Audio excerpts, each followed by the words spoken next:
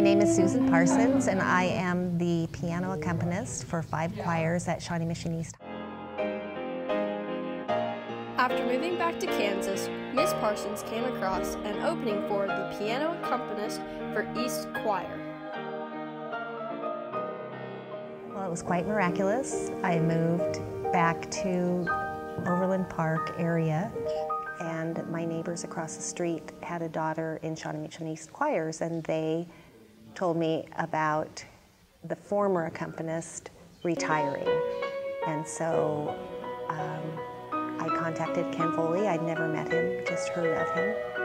And we had one day of crossover during the summer when we were both home. And I came and played for him and interviewed, and he offered me the job.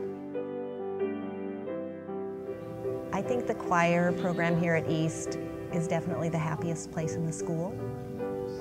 And I think Ken Foley is magical with students. And he told me early on that he was passionate about good music, but he was more passionate about students. And he really does live that out.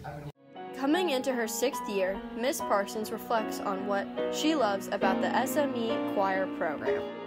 I just love being in the background and supporting a program such as this, working with the kids who are in um, solo and ensemble and doing auditions and those kind of things. I love supporting kids for that.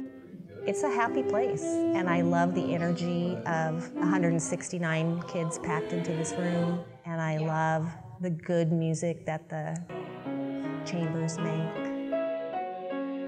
Oh, I love all these kids. It's really neat to watch them come in as freshmen and just be squirrel bait, basically, um, in the classroom, and then watch them through to their senior year and find out what their plans are and where they're going to college.